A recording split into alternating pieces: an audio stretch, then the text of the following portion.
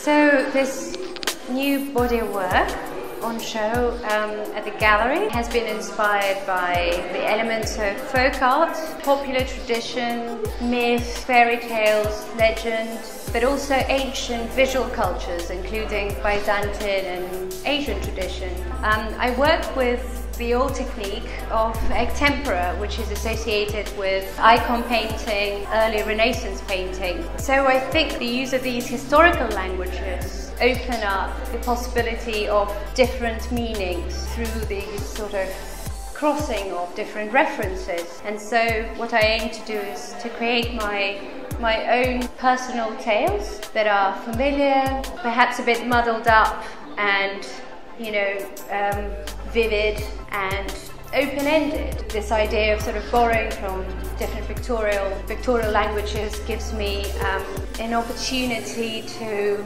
to explore in detail themes, very personal themes of um, womanhood. I'm very much inspired by sort of wider subjects like storytelling, identity and memory.